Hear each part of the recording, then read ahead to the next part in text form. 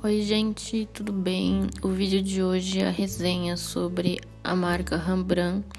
Uh, essa marca é, faz parte da Talens, que a Rembrandt é a versão profissional da Talens. A versão estudante é a Van Gogh, que já tem resenha aqui pelo canal. Nesse caso, eu tô mostrando as bisnaguinhas e os pans, porque eu já tinha os pans que as cores que eu tinha acabou e eu comprei exatamente essas cores que acabou e eu é, preenchi o pan com a bisnaguinha. Geralmente as bisnagas profissionais elas costumam ter poucos ml porque elas são hiperconcentradas.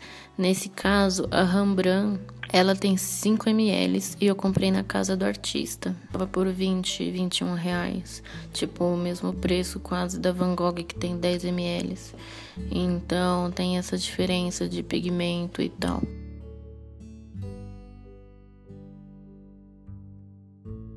Então eu vou testar essas duas cores que eu tenho aqui, que é a Phthalo Green e o azul da Prússia elas são um pouquinho mais, como eu posso dizer, elas não são grossas como pasta de dente, elas são um pouquinho mais fluidas. Tem, olhando assim a cor, elas lembram meio a textura da moeba, sabe? Porque ela é meio transparentezinha, assim, só de olhar pela tinta no UD. Mas ela é muito bacana, achei bem legal e bem pigmentada. Isso que é interessante. Eu tô testando num papel Monval de 300 de gramatura com pouca textura. Então eu já tô pegando a tinta direto do da pastilha, né, do panzinho. A tinta sai super fácil no pincel. Não precisa esfregar tanto o pincel para tirar a tinta. Ela é bem pigmentada. Ela tem uma textura diferente das outras tintas em questão de passar no papel e da tinta sair na água e expandir, mas ela responde nos nos comandos que a gente dá.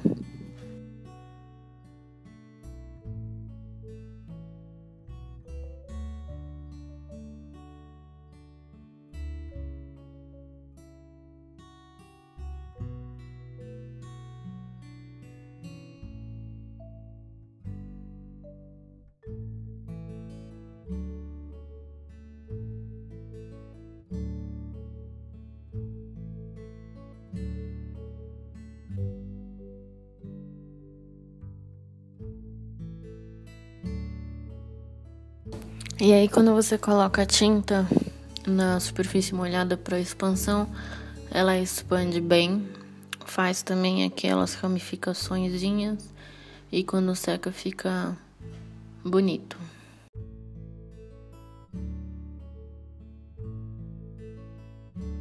Vou fazer novamente o mesmo teste com o azul da Prússia, que essa cor é maravilhosa, é linda demais. E quando você puxa com pincel e água pura, a tinta simplesmente vai.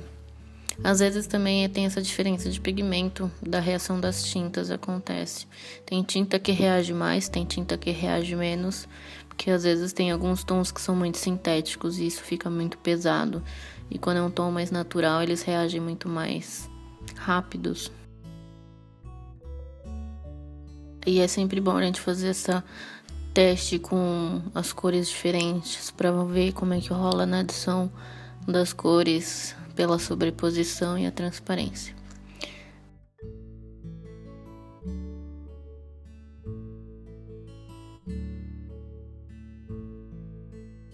Aqui eu aproximei mais para poder ver, porque o brilho da luz estava incomodando ali. Uh, eu testei a expansão das duas cores juntas do lado da outra para poder fazer a comparação. O vídeo não tá acelerado, tá no tempo dele certinho que acontece a expansão da cor. Então esse é o tempo dela que ela leva para poder expandir a cor no espaço molhado.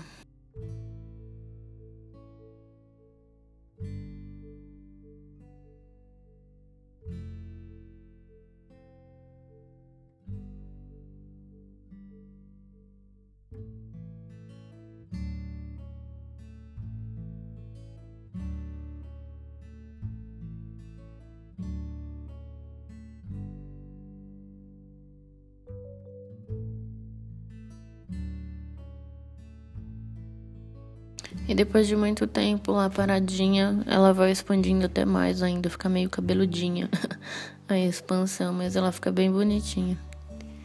E finalmente esses testes secos, porque depois de seco a aquarela também reage de outro jeito.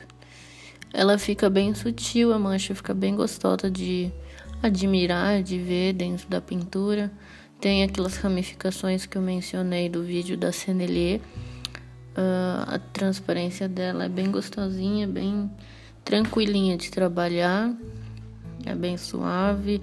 Tem as marcaçõezinhas ali depois na extremidade quando a água seca na bordinha, que é normal da aquarela, como eu mencionei. E agora eu vou testar a transparência das duas cores. Eu vou colocar agora o verde, bem diluído em água em cima do azul e o azul em cima do verde. E depois mostrar para vocês como é que fica eles secos. Essa questão da transparência a gente tem que imaginar dois vidros coloridos, porque vidro é transparente. E quando você sobrepõe em cima do outro, rola adição de cor, mas você continua enxergando no fundo a primeira parte do vidro. Então, se a sua aquarela funciona em perfeito estado de transparência, você consegue trabalhar em várias camadas. Se a sua aquarela fica muito opaca, isso não ajuda muito para trabalhar com camadas transparentes, que é a proposta da aquarela.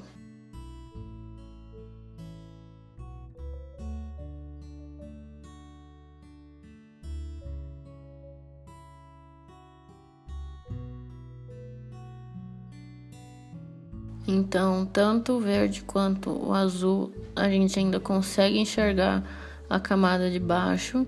O verde, a camada de baixo não dá pra ver tanto, porque o azul é um pouco mais escuro, mas mesmo assim você enxerga ali um pouquinho.